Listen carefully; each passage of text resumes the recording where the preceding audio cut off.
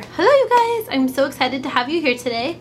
I'm here to show you guys a super duper awesome soup that's going to be really easy to make, really quick to make, and super low on points for Weight Watchers. Now if you guys are on Team Purple, that's me, whoop whoop. Although they're all awesome, this is going to be zero points. And if you're on green or blue, I'm going to have everything listed down below. So after this video, make sure that you guys check that out because I'll have all of the um, ingredients and directions listed there too. But for me, um, I love making these videos because I am a visual learner. I'm somebody who does better when I watch somebody do it versus just reading it. So that's why I started this YouTube was to just show you guys stuff. So anyways, I hope that you guys enjoy watching how I make this soup and let's go ahead and get started. Alright, so the first thing you guys are going to need is some vegetable broth. This is what I'm using and I'm just gonna dump it into my pan. Alright, the next thing you guys are going to need is some tomato sauce. And I would normally add also a can of diced tomatoes to this, but I don't have any, so it's just tomato sauce. Next up, we're gonna add our veggies, okay? So I've got some frozen corn here. I have some celery right here. I have some chopped up carrots right here. And then I have a whole bunch of zucchini chopped up. Yum yum. Okay, so next I'm gonna go ahead and season the soup. And what I'm gonna do that with is a couple things. I'm gonna use some minced garlic. And then I'm gonna use some garlic salt, just a little bit of that because I have the minced garlic in there. I love Daks, I've talked about it, I've talked about it lots on here. And I'll go ahead and link them down below because I do have a discount code. They're amazing. So I'm gonna use Daks Green Zest.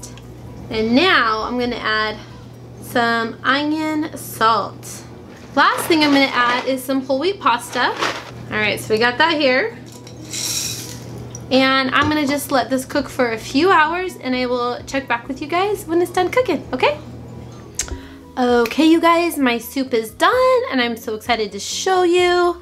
Um, but two things. One, I forgot to show you that I was gonna add a can of white beans to my uh, minestrone. I had it sitting on the side and just pff, forgot it. So anyways, I did add that to the soup. So I just wanted to throw that in there. And like I said, I'm gonna have everything in the description box down below. But before I show you the soup, I wanted to show you what I love to pair with my soup. And my kids, my husband, they all like love this so much as a side for soup. And that is making a really delicious, easy garlic parmesan bread. So here's what I use.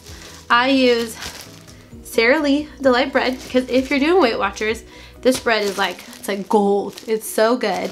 The flavor in it's delicious and it's really, really, really low in points. You can have one slice for one point, two slices for two points, and three slices for four points.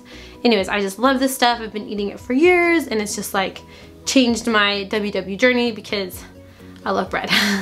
Anyways, so here's what I do. I toast my bread and then for my family, I do butter, but because I wanna save points, I spray mine down with a little bit of this olive oil spray.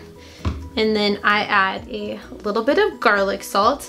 And then normally I have that grated Parmesan cheese that comes in like that green can, you know, like Kraft Parmesan. Um, I'm all out of it, but I happen to have some fresh grated Parmesan cheese in my fridge, so I threw some of that on top. And you can have one and a half teaspoons, which is actually a decent amount, for zero points. So I love that.